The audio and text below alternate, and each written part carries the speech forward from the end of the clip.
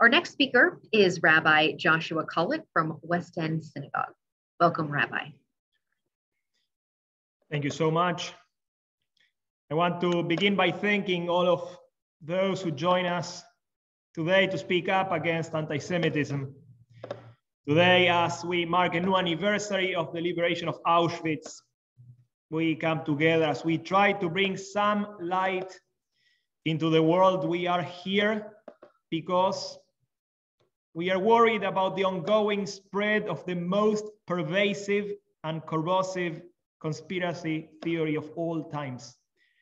We are here because even if we don't say it often enough, even if we would like things to be different, the truth is that we are afraid. We are afraid because even if Jews make for only 2% of the US population, we continue to be the number one target of anti-religious hate crimes here in America. We are afraid because we have witnessed how some members of Congress have justified white nationalists while others continue to demonize the state of Israel. We are afraid because we just learned about the school here in Tennessee who is banning books like this one because they seem to be more concerned about rough language than about teaching about the Holocaust. We are afraid because one in three Jewish students have experienced anti-Semitism on college campuses here in the US during the last school year. We are afraid because we have heard the anti-Semitic chants of those who marched in Charlottesville in 2017. We have seen pictures with the anti-Semitic gear that was used by some of those who stormed the US Capitol a year ago. And we have read a variety of anti-Semitic remarks coming from a number of religious leaders belonging to all kinds of different religious denominations. Now we know that all these hateful manifestations do not represent our nation. We know that we have a lot of allies and friends, and we are truly grateful for them. We are grateful for you for joining us today. But you know what? Even if we can count on our allies and friends, and that is something that certainly warms our hearts and our souls, that doesn't take away from the fact that today we are experiencing not only a spike in anti-Semitic events all around us, but also a normalization of some of that gruesome rhetoric that creates the conditions for anti-Semitism to thrive and to endure.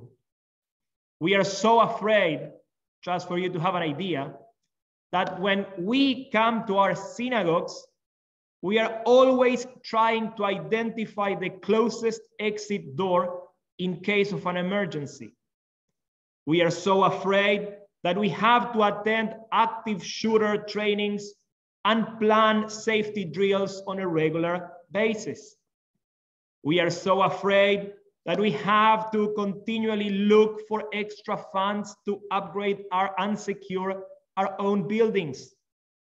And you know what? all of that takes a toll, a physical toll, a mental toll, and a spiritual toll as well. Synagogues and other Jewish institutions are called to be welcoming and warm places where people of all ages can pray, study, socialize, and embrace those who are suffering the most. Synagogues are meant to be open places to shelter the needy and to heal the wounded without having to risk being taken hostage by deranged terrorists with distorted views of who is running the world. So, yes, we are afraid, but you know what?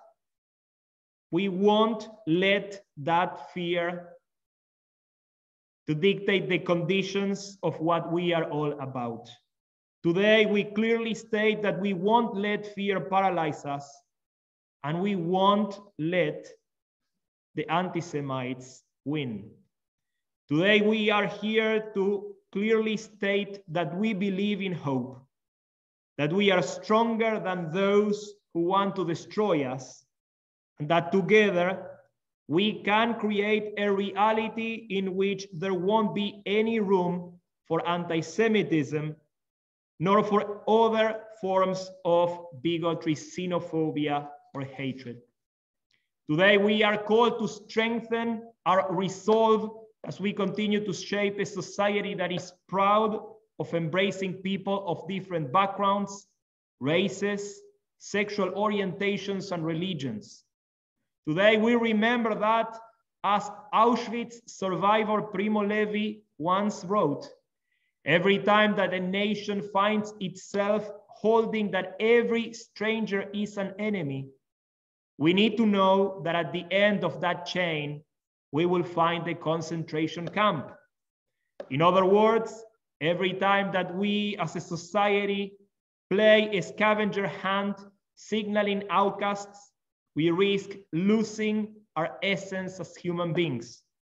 Every time we push for the type of uniformity that denies any chance for dissent, we all lose. When everything is painted in only one color, we endanger the spiritual state of our communal soul as we erase the precious diversity that makes for who we truly are. So despite the urge to point fingers at those who look like strangers to us, despite the lure of suppressing those with a different political view than our own, we should work to create a pluralistic and inclusive society, open to everyone that brings a generous heart to the mix, a society that is welcoming to all those who are invested in developing a diverse and multicultural space in our midst. The only way to defeat anti-Semitism is by investing in this kind of multicolored society. And that is why we as Jews, that is why we need to respond to anti-Semitism not by hiding who we are, but by proudly embracing our own Jewish identity. We need to respond to those who wish our demise by lighting Shabbat candles every week and by doing more tzedakah. We should do it by attending and supporting our synagogues and institutions and by engaging in projects of tikkun olam as we continue with the holy work of amending this broken world. And while we do all of that and so much more, we need to continue building bridges, fostering new relationships and expanding our circle of friends. We are all in this together and together we shall overcome. So finally, on a new anniversary of the liberation of Auschwitz, I want to end by quoting words from Elie Wiesel, another Auschwitz survivor and a Nobel Prize winner, who in 1992 wrote the following lines to a group of college students. And now I am quoting from him. He said, all collective judgments are wrong. Only racists make them. And racism is stupid just as it is ugly. Its aim is to destroy, to pervert, to distort innocence in human beings and their quest for human equality. Racism is misleading. There are good people and bad people in every community. No human race is superior. No religious faith is inferior. We all come from somewhere and we all wonder where we are going. I know you have been tested during your years in school more than once, but the real tests are still ahead of you. How will you deal with your own or other people's hunger, homelessness, sexual or gender discrimination, and community antagonisms? The world outside is not waiting to welcome you with open arms. The economic climate is bad. The psychological one is worse. You wonder, will you find jobs, allies, friends? I pray to our Father in heaven to answer yes to all these questions. But should you encounter a temporary disappointment, I also pray, do not make someone else pay the price for your pain. Do not see in someone else a scapegoat for your difficulties. Only a fanatic does that, not you. For you have learned to reject fanaticism. You know that fanaticism leads to hatred, and hatred is both destructive and self destructive. I speak to you as a teacher and as a student. One is both always. I also speak as a witness. I speak to you, for I do not want my past to become your future. And that's the end of the quote.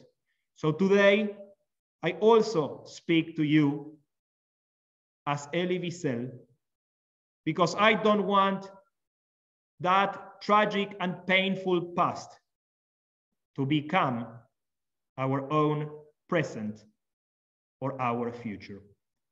That is my prayer, and that is also my hope. Thank you very much.